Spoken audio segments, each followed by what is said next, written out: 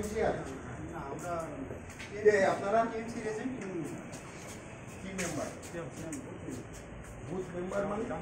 না তাহলে ভেতরে আছেন কেন? আমাদের ছিল বাইরে যান। না না না বাইরে যান। এজেন্ট যে হবে সেই থাকবে আর আমাদের এজেন্ট ভেতরে এদের ভেতরে আছে। আমাদের আমাদের এজেন্ট আপনাদের এখানে বিজেপি এজেন্ট নেই।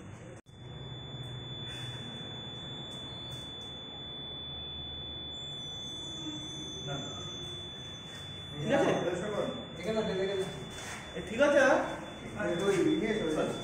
এর ভিভ্যাটে বের করতে হবে।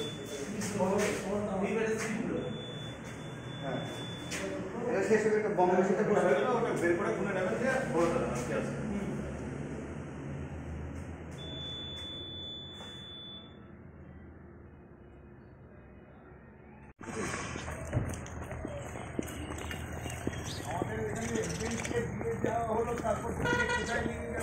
যদি কারোর উপর কিছু হয় সেটা তো দেখতে পাবেন আপনারা।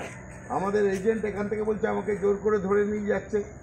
ছটার সময় তাকে নামানোর কথা আমরা নামিয়ে দিয়ে গেছি। আপনারা দেখতে পেয়েছেন কিছু? আমি তাহলে খবর দিয়েছি হ্যাঁ খবর দিন এখন। কি হয়েছে? কি অভিযোগ করছেন? আমাদের এজেন্টকে একটু আগে নামিয়ে দেওয়া হয়েছে কারণ ছটা থেকে শুরু হওয়ার কথা মকপোল এখনও খোলেনি দরজা।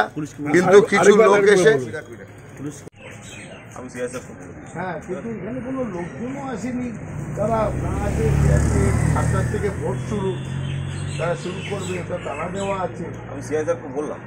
সিএসএফ কি ভোট করছেন কি হচ্ছে আপনারা নাকা করছেন ঠিক আছে। আপনি সিআই সাহেবকে বললেন? আমি সিএসএফ বলব আচ্ছা। ঠিক আছে চলো বুঝতে-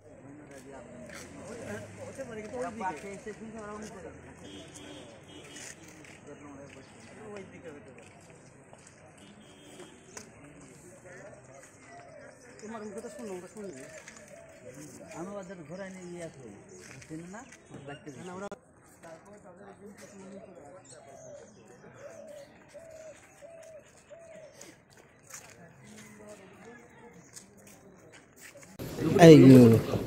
আজ সকাল থেকেই সকাল থেকেই করিমপুরের এই বিশেষ করে ধোরাদহ এবং নথিডাঙ্গার বেশ কয়েকটা অঞ্চলে উত্তেজনা ছড়িয়েছে তৃণমূল কংগ্রেস।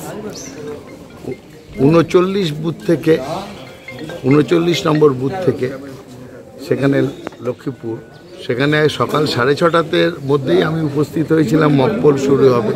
এবং সেখানে যে দুজন এজেন্টকে আমরা পৌঁছে দিই, দশ মিনিটের মধ্যে সেখানে তৃণমূলের লোকজন এসে তাদের তুলে নিয়ে চলে যায় এবং আমরা খবর পাই না কোথায় নিয়ে গেছে। এবং তাই নিয়ে আমরা খুব চিন্তিত হয়ে পড়ি। পাশেই রামনগর গ্রাম সেই গ্রামের লোকজনদের ওপরে তৃণমূলের এখানকার গুন্ডাদের সর্দার রাজু মল্লিক। তিনি গিয়ে সকাল সকাল ভয় দেখাতে শুরু করেন। আমরা পুলিশকে জানিয়েছি যে তাকে ইমিডিয়েট অ্যারেস্ট করতে হবে রাজু মল্লিককে। পুলিশকে এবং আমরা ইলেকশন কমিশনকে জানিয়েছি। এবং আমাদের দুজন যারা হারিয়ে গেছে এজেন্ট তাদের খুঁজে বার করার জন্য আমরা অনুরোধ করেছি। আমরা অসমর্থিত সূত্রে খবর পেয়েছি। যে ওখানকার যে প্রধান তৃণমূলের প্রধান ওই অঞ্চলে তার বাড়িতে এদেরকে আটকে রাখা হয়েছে। তাদের ফোন পাওয়া যাচ্ছে না আমরা খুব চিন্তিত। আর বাদবাকি কয়েক জায়গায় আমরা ঘুরছি আপনারাও দেখছেন। সেখানে কিন্তু মানুষ শান্তিপূর্ণভাবে ভোট দিতে চাইছে। তারা ধর্মের নিরিখে ভোট দিতে চাইছে না। তারা শান্তিপূর্ণভাবে নিজেদের গণতান্ত্রিক অধিকার প্রয়োগ করতে চাইছে। দেখুন এখানে দুটো প্রশাসন কাজ করছে। একটা ইলেকশন কমিশন আর একটা হচ্ছে পুলিশ প্রশাসন। পুলিশ প্রশাসন আছেন মমতা বিধানে আর ইলেকশন কমিশন আছেন সংবিধানে। এবার বুঝে নিন আপনি।